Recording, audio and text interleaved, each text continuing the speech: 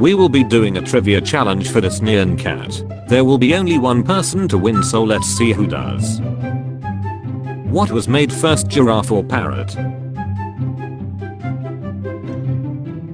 The girl in the black hair wins. One point to her. Now she has a chance of winning. What's the new egg gonna be? Mythical egg. Correct. What egg was the owl in? Jungle eggs. Jungle. Okay all wrong. It's the farm egg. She wins the girl with the black hair. So she gets the neon cat. I hope she enjoys this and takes good care of its eye.